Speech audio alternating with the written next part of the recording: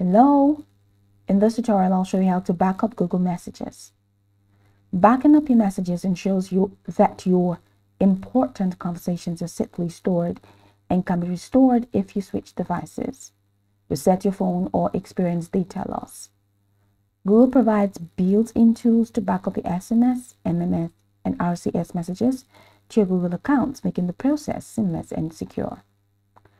So the first thing that you like to do is to unlock your Android device. Then, locate and tap on the Settings app, typically represented by a gear icon.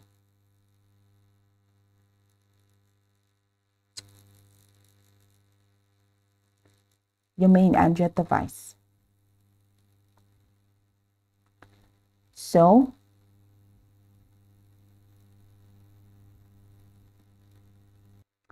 So scroll down the settings window and tap on Google, Google Services.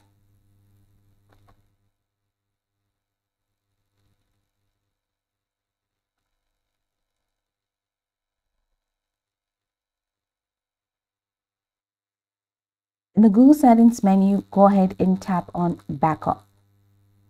If it's your first time here, you might need to turn on Backup by Google One you need to toggle that on. And once you toggle the switch to enable backups, ensure that SMS and MMS messages are selected for backup. Then tap on backup now to start the backup process immediately. Wait for the process to complete. This may take a few minutes depending on the amount of data. RCS messages, which include chat features, are also backed up if you're using Google Messages and have chat featured enabled. So for more control over your backups, including scheduling and choosing backup destinations, you can use the SMS Backup and Restore app. So go ahead and open the Google Play Store, search for SMS Backup and Restore, tap Install, and wait for the app to download and install. Open the SMS Backup and Restore app, tap on Get Started, grant the necessary permissions when prompted, tap on Set up a backup, choose what you want to backup, messages, phone calls, or both, Tap Next.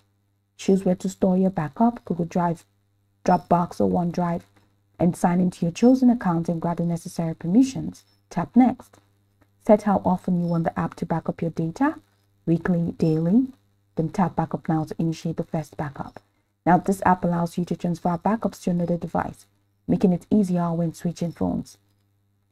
So go over tutorial from the top to the bottom to get acquainted with the steps. And once you're done, you begin to go. I hope this tutorial marvelously helped you search.